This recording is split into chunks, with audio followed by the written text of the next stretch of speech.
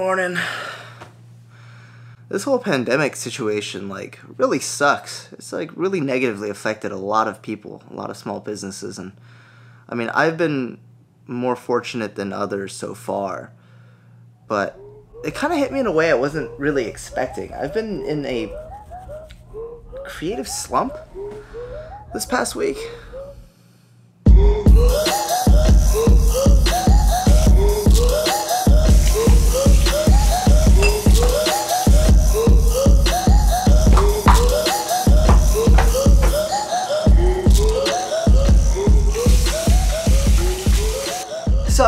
Today I'm gonna try to be as creative as I can be. I'm gonna try to vlog the entire day and make something out of what is currently a mundane time in terms of daily activities. We gotta go run and get some groceries. I have to go swing by my mom's restaurant.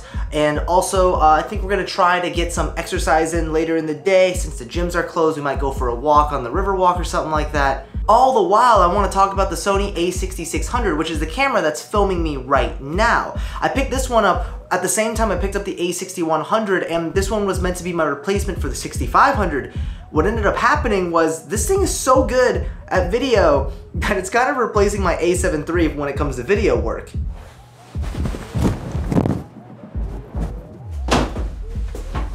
So one of the first things I wanted to talk about this camera were my first impressions of it and how it functions as a video dedicated camera. See, it's got everything the A7 III has when it comes to video capabilities. We're talking uh, 4K 30 FPS, we're talking, you know, 1080p 120 frames per second. We're also talking about the fact that unlike the A6500, the back rear screen does not dim when you're shooting at either of those two options, which is great because Nobody likes a dim screen when you're out in the bright sunlight. On top of that, the A6600 has an updated autofocus system, which is absolutely incredible. And honestly, Andrew and I were talking about it, and I think we think it's better than the A7 III's autofocus system, which is already really good. One of my favorite parts is that eye autofocus works 100% of the time when filming on the A6600, whether that's 4K, uh, 30 frames per second, 1080p, uh, 120 frames per second, uh, it's just always works. So the focus is always tack on. One of the great things about the a6600 is now it uses the new Sony Z batteries, which are the larger capacity batteries, which means I can record for most of the day on one, maybe two batteries. That's in stark contrast to the A6500 where I had to carry around anywhere between five or six batteries if I'm doing a full day shoot because those batteries just went by really quickly.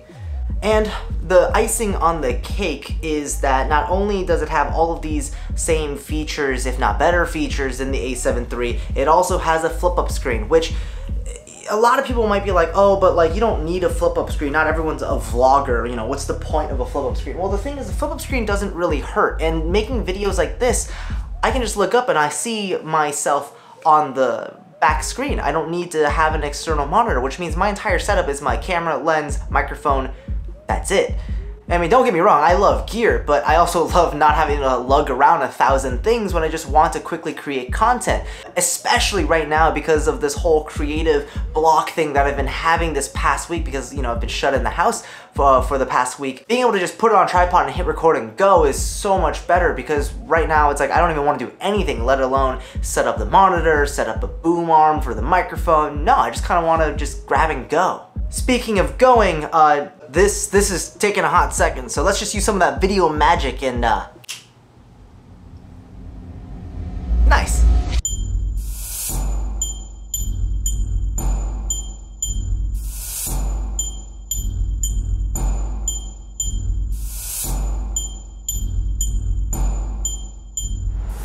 So it's honestly kind of eerie how like out of stock some things are in Publix. Actually, um, one of my friends uh, works at Publix and was like, a customer came in and bought like $1,100 worth of groceries. And she was like, yeah, I'm just gonna stay in my house for the next month, which is kind of intense, but at the same time, this might be a, a long ordeal that we all have to go through. And if you haven't heard of the, this concept yet, everyone's been posting about it, but you know, flatten the curve. The concept is to not overload the healthcare system so that way we can make it through this and it doesn't get to like that point where health professionals are making, you know, life or death decisions on who gets uh, life-saving treatment. since we don't have a vaccine yet, uh, what we can do is basically a social vaccine. If we all isolate ourselves from each other, it's basically the equivalence of a vaccine. Uh, more educated people, uh, you know, more qualified people have talked about this. Everything from educational channels like Kurzgesagt to news channels like Philip DeFranco to even uh, physicians like Chris from Becki and Chris. Uh, I mean, check out their videos for a better explanation of this. But yeah, it's it's an interesting and trying time.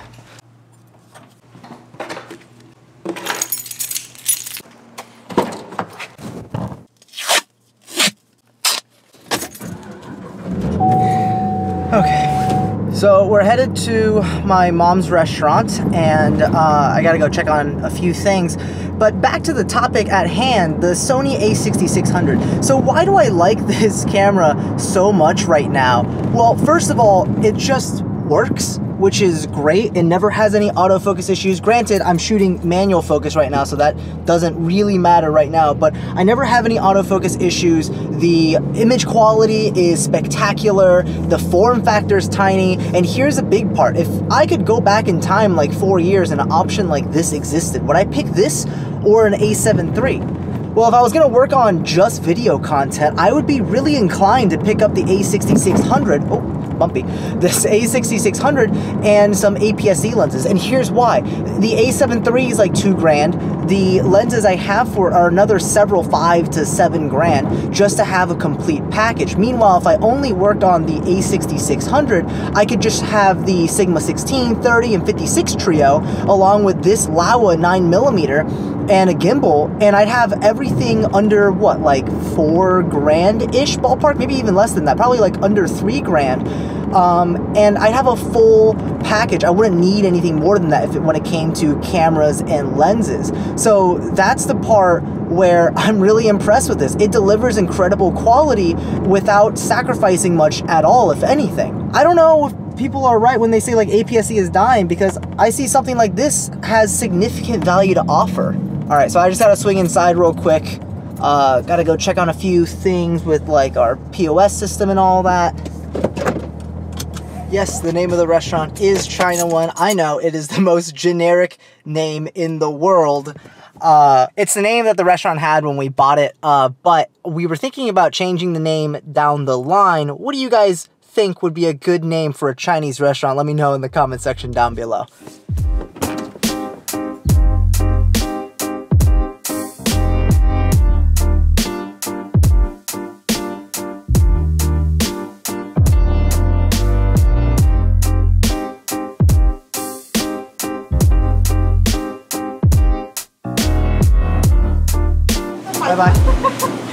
bye bye. เราจะใส่ตู้เราต้องลากเลยค่ะ Hi Annette. You just covered my face. Oh my while bad. waiting. We'll do that again. Hi Annette. Actually, one of the big reasons why I bought the A6600 was because this is the first Sony uh, non-video cinema camera that has no record limit. Well, not true. Technically, we found out uh, from Potato Jet's video where he tried to vlog for 24 hours straight uh, that there's actually a record limit of 13 hours. But I'm gonna assume nobody's gonna be using this camera recording 13 hours straight. But yeah, that's extremely useful for when you're doing event videography. Uh, think about wedding ceremonies, recording nonstop. Think about conferences if you wanna record a speaker and their presentation's longer than half an hour.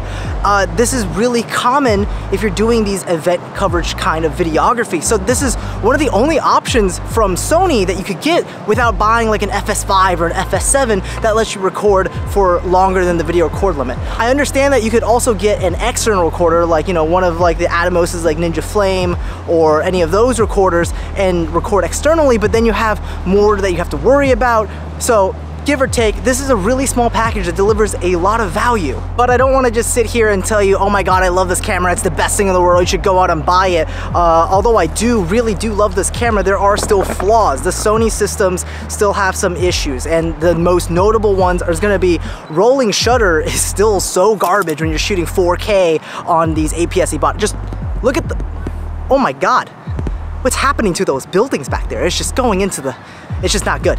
Um, Built-in uh, image stabilization, in-body image stabilization is just not that great. If you've been watching this video, you can tell, like, it's not terrible. It's not like shaking and, you know, vomit inducing, but it's still not great. You compare it to something like the GH5, you compare it to other cameras in the market at the same price point, and they've got superior in-body stabilization. So you really do want to end up getting yourself something like an optically uh, stabilized lens. And the last thing that I would say that I dislike about the a6600 is the 120 frames per second is still beautiful. I do love using slow motion on these uh, camera bodies, but the one thing is they're still at such a low uh, bit rate that when you do shoot in 120p and you stretch all that out, there's not enough data uh, for each of the frames. So that means you're gonna get softer, you're gonna get uh, grainier, and you're gonna get less accurate colors when you're shooting at 120p. But that's from my perspective, that's somebody who uses cameras very often, but to get a better perspective of someone who might not use cameras as often as I do, I want to get Annette's opinion. What do you think about the form factor of this camera? How do you like it in terms of size, weight, features? Do you like the flip up screen? Talk to me about that. Yeah, so the flip up screen looks really convenient if you were very serious about vlogging. It sounded like I said blogging. I said vlogging. Um, this isn't pretty this isn't bad, especially for someone that doesn't have very strong shoulders or arms.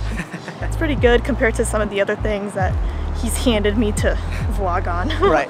All right. to you. Back to me. Okay, well, we're gonna just finish our walk. We've just walked like a mile this way, so we're probably gonna turn around and walk back the other way. I'll see you guys back at the office. All right, we're back at the office. This is really dark, actually. This is really moody. Alexa, turn on the lights. Okay, that's a little bit better. That was a little dark.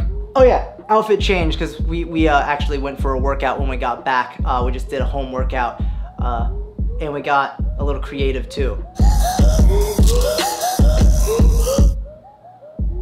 But all that aside, yeah, today's video was just something I just kind of wanted to do because I just wanted to get out of my like creator's block funk that I was in for like a week. Like seriously, for a whole week, I just had no motivation to edit photos, edit videos. I didn't want to write any videos, but uh, I think this was really good because it was just kind of like very impromptu. I just said, I want to talk about the a6600. I want to kind of bring light to, you know, this whole pandemic situation, which has been crappy for so many people. And I wanted to make a creative video while I was at it and challenge myself myself a little bit because yeah, it was kind of a mundane day. I mean, it was grocery, seeing my parents, and then going for a walk, and then an indoor home workout. So it wasn't like the craziest day, right?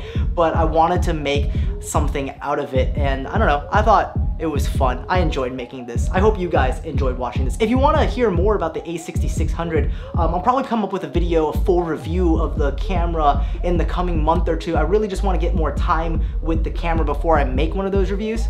But if you've been wanting to check it out because you've been liking the footage that you've been seeing on screen, links as usual are always in the description down below. And of course, I've already reviewed the lens that I shot this entire video with the Laowa 9mm f2.8. There's the link right there for you. But let me know in the comment section down below, how are you guys dealing with this whole situation right now? Like, is it seriously affecting your day to day? Are you working from home right now? I mean, are you working? Like, that's the crappy part for a lot of people, you know? So uh, yeah, how are you guys holding up right now?